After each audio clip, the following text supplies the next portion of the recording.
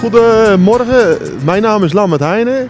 We zijn uh, hier uh, uh, voor de televisie omdat we georganiseerd hebben de Multicuzijn, de MIG 80 Multicuzijn toertocht. vroeger is er altijd een toertocht in het dorp geweest. Dat is begonnen met de Natte Cake toertocht.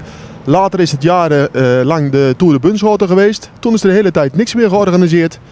En vanwege het 30-jarige bestaan van de, de fietsclub MIG 80 heeft uh, Maarten Bos het initiatief opgepakt om te zeggen we moeten weer een uh, toertocht gaan organiseren. En dat is de MIG 80 Multicuzijn toertocht geworden. Uh, misschien kan Maarten iets meer vertellen over waarom en hoe?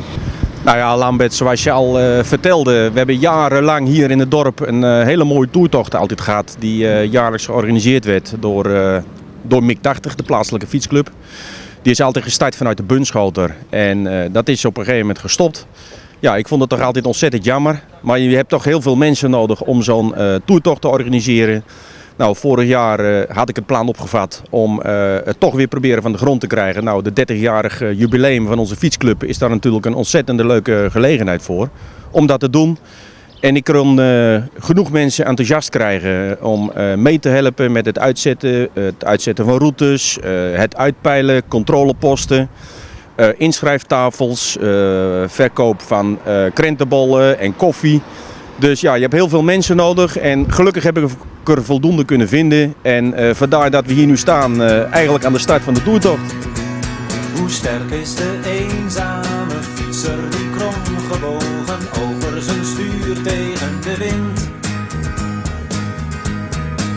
zichzelf een weg baant zelfbewuste voetbalspeler die voor de ogen van het publiek de wedstrijd wint. Zich kampioen baant. Hoe lacht ver genoeg de zakenman zonder mededogen die concurrent verslagen vindt. Zelf haast failliet gaan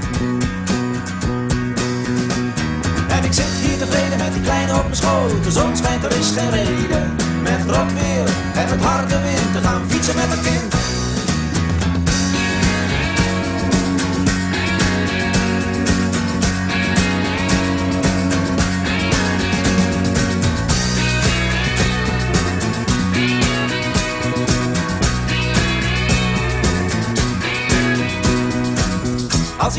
Ik ben Wout van den Berg. Ik heb net uh, de toertocht gedaan, 58 kilometer. Het was een beetje slecht weer, hoop wind, maar uh, ja, we hebben het volbracht. Ik was helaas op de laatste uh, terugweg alleen, dus vol tegen de wind in. Maar ja, we hebben het volbracht, dus het was helemaal super.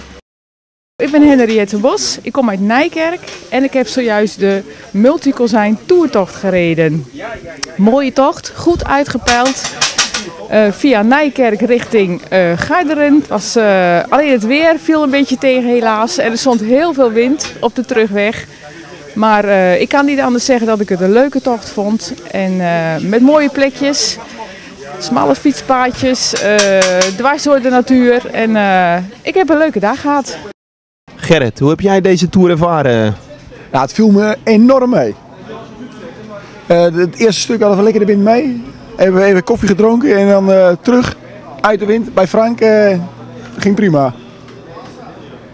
Nou, dat klinkt alsof jij het zwaar gehad hebt, Frank. Ja, sommige mensen moeten toch het kopwerk doen. En ja, daar was ik er één van. Maar ik heb enorm genoten. Jij? Nou ja, ik heb ook on natuurlijk ontzettend genoten. Ja, ik, ik reed natuurlijk helemaal achteraan. Dus windvrij, dus was voor mij perfect. Geen enkel probleem dus. Hè? Maar dat kopwerk van jou, dat, dat hebben we allemaal gezien Frank, dat, uh, daar markeerde helemaal niks aan. Dus uh, dat mag je blijven doen. Echt een kopman in het geel. Helemaal goed. En ik moet zeggen, uh, mede door de sponsors was het echt een top, top, topritje. Febo en uh, Multicol zijn. Bedankt.